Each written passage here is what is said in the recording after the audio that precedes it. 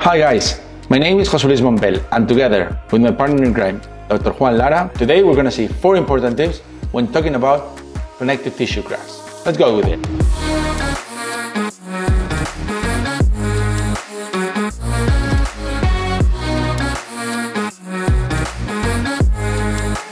Nowadays, in modern implantology, connective tissue graft plays a great important role. Why?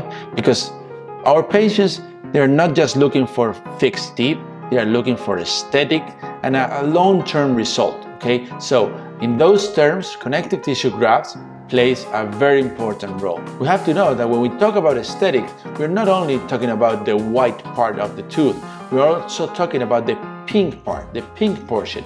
And there is where the connective tissue grafts plays this important role, okay? Because we have to know that every single part that is a little bit uh, depressed, we can see some shadows and there is where our connective tissue grafts are going to, to give a much better uh, aesthetic outcome and also are going to protect our implants. We have to keep in mind that we need at least 3 4 millimeters 360 degrees around our fixation in order to protect and to be sure our long-term prognosis of the implants, okay? The first tip we want to share with you today is about how to graft this connective tissue graft.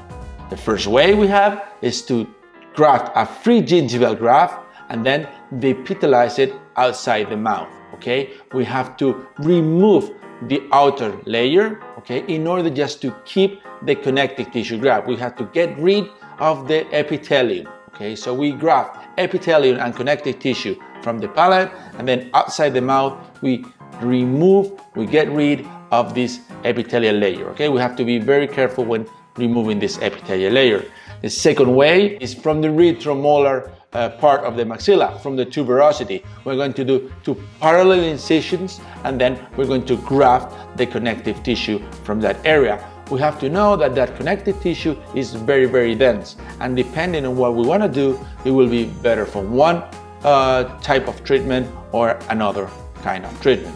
The third, the third way of grafting this connective tissue is just by doing one incision on the palate. From there, we're going to do a split thickness uh, flap and then we're gonna graft the, uh, the connective tissue by leaving the epithelium in the palate. This is the way our patient will have the less bleeding and the best post-op. It's also good for them and also good for us. Less complication, less emergencies, less calls at late night. The second tip we want to share with you is when using this one incision technique is to leave the periosteum. How we're gonna do this? We're gonna do one full thickness incision and then once we do this full thickness incision this only incision then we're going to do a split thickness and then another partial incision underneath the connective tissue that way we're going to leave on the outer side the epithelium we're going to grab the connective tissue and leave the periosteum by leaving the periosteum as we just said our uh, patient will have a much better post-op less bleeding and much better uh, results in that area. And this leads us to our third tip. We're gonna graft a free gingival graft and epithelize it outside of the mouth, we have to be very, very careful when doing this procedure. Why? We have to know that we uh, get rid, we have to know that we eliminate every single part of this epithelial layer. Why? Because if we uh, place our connective tissue graft under the mucosa through a tunnel, through a, well, uh, any, any techniques we may discuss in other videos, we may introduce, we may place some epithelium underneath the mucosa, and that may lead to some keratin cyst. That is a little fistula. It may seem like a fistula, but it's not an infectious process. It's only keratin. Okay, so we have to be very careful. We have to get rid of every single part of the epithelium. We know some colleagues, instead of grafting a free gingival graft and the epithelizing outside of the mouth, they take a diamond burr and they epithelize the graft before they harvest it. It might be easier in order they, they know that every single part of the epithelium is removed because it, start, it starts bleeding. Okay, so we remove every single part of the epithelium, either inside the mouth or outside of the mouth. Okay, but no epithelial cells should stay in the connective tissue graft. Otherwise, we may have have some uh, issues. The fourth tip we want to share with you is about the donor site.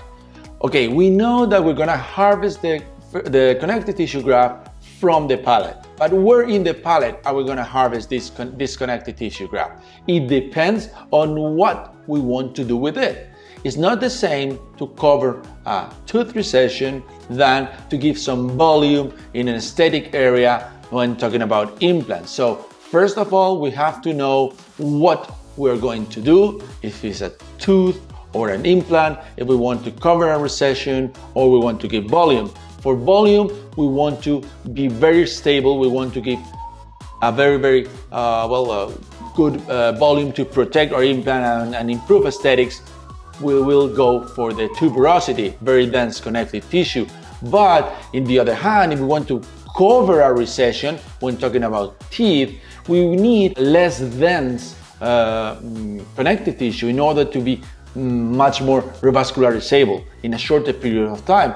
There we'll go for the connective tissue that is located in the bicuspid area. So this fourth tip is you need to know where to harvest your connective tissue in order to improve your results. If you're talking about implants or you're talking about teeth, it will be completely different. Now, if you want to learn how to do another kind of treatment, free gingival graft, go to this video.